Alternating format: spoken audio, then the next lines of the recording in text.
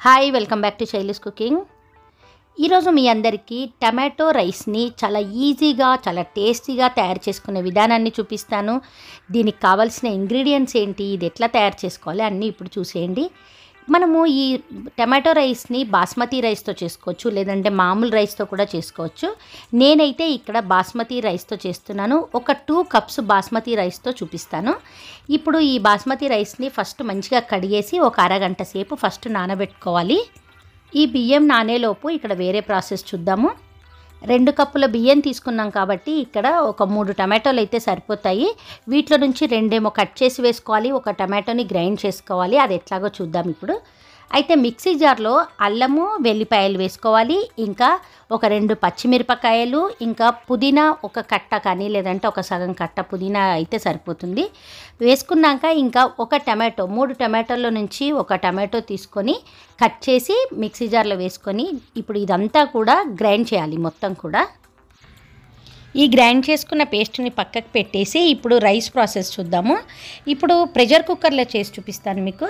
ఇక్కడ ఒక table spoon నెయ్యి వేసుకొని ఒక నాలుగు టేబుల్ స్పూన్స్ వరకు నూనె వేసుకోవాలి. తర్వాత ఇందులోకి ఒక మూడు దాల్చిన చెక్క ముక్కలు ఇంకా రెండు లవంగాలు రెండు ఇలాచీలు ఒక నాలుగు మిరియాలు కాజు ఒక పది నుంచి పన్నెండు వరకు వేసుకోవచ్చు. ఒక స్పూన్ జీలకర్ర రెండు ఎండుమిరపకాయలు వేసి వీటిని అన్నిటినీ కూడా ఇప్పుడు ఈ నూనెలో ఫ్రై చేసుకోవాలి.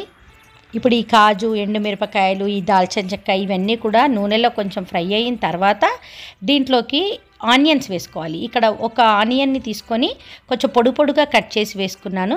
అట్లా వేసుకుంటే టమాటో రైస్కి బాగుంటుంది. ఇంకా కొంచెం కరివేపాకు ఇంకా రెండు బిర్యానీ ఆకులు కూడా వేసుకొని ఇవన్నిటిని కూడా మంచిగా ఫ్రై చేసుకోవాలి. ఇప్పుడు ఈ ఆనియన్స్ ఇవంతా ఫ్రై అయిన తర్వాత దీంట్లోకి టమాటోలు రెండు టమాటోలను తీసి పెట్టుకున్నాం కదా వాటిని కూడా కట్ చేసి వేసుకోవాలి. ఈ టమాటోలు కూడా బాగా మెత్తగా మంచిగా ఉడకాలి ఇప్పుడు ఈ నూనెలో. ఇవి ఉడికిన తర్వాత దీంట్లోకి మనం గ్రైండ్ చేసి పెట్టుకున్న పేస్ట్ ఉంది కదా టమాటో ఇంకా పచ్చిమిర్చి అల్లం వెల్లుల్లి ఆ పేస్ట్ అంతా కూడా వేసి ఈ పేస్ట్ కూడా నూనెలో మంచిగా ఫ్రై అయ్యేటట్టు ఒక రెండు నుంచి మూడు నిమిషాల వరకు బాగా ఉడికించుకోవాలి. ఇప్పుడు ఈ పేస్ట్ అంతా కూడా నూనెలో కొంచెం ఫ్రై అవ్వాలి. అయిన తర్వాత మన టేస్ట్కి తగినంత కారం వేసుకోవాలి. కారం పొడి. ఇక్కడ ఒక టీ స్పూన్ వేస్తున్నాను. ఆల్రెడీ రెండు పచ్చిమిర్చి ఇంకా రెండు మిరపకాయలు కూడా వేసుకున్నాం కాబట్టి కారం చూసుకొని వేసుకోవాలి.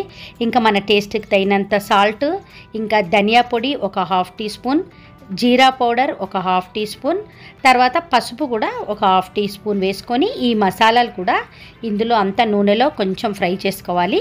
తర్వాత ఇంకా మనం కడిగి నానబెట్టుకున్న బాస్మతి రైస్ ఉంది కదా అందులో నుంచి నీళ్ళన్నీ తీసేసి ఆ బియ్యం కూడా వేసి ఆ బియ్యంని ఈ మసాలాలతో పాటు ఈ టమాటోలతో పాటు ఉడికేటట్టు ఓన్లీ ఒక్కటే నిమిషం ఒక్క నిమిషం ఉడికించుకోవాలి. తర్వాత ఇది ఉడికిన తర్వాత ఇక్కడ కాశ్మీరీ చిల్లీ పౌడర్ ఒక వన్ స్పూన్ వేస్తున్నాను. ఈ కాశ్మీరీ చిల్లీ పౌడర్ కారం ఉండదు కానీ మంచి కలర్ వస్తుంది దీనివల్ల. టమాటో రైస్కి కలర్ బాగుంటుందని వేస్తున్నాను. ఇది ఆప్షనల్ ఉంటే వేసుకోండి లేదంటే లేదు. తర్వాత దీంట్లోకి ఇప్పుడు నీళ్ళు పోసుకోవాలి. నీళ్ళు అనేది ఇప్పుడు బాస్మతి రైస్కి ఒక కప్పుకి ఒకటిన్నర కప్పు నీళ్ళు పోసుకుంటే మనం రెండు కప్పుల బియ్యం తీసుకున్నాం కాబట్టి ఇక్కడ మూడు కప్పుల నీళ్ళు పోస్తాను. మీరు బాస్మతి రైస్ కాకుండా మామూలు రైస్ తీసుకుంటే ఒక కప్పుకి రెండు కప్పులు నీళ్ళు పోసుకోవచ్చు.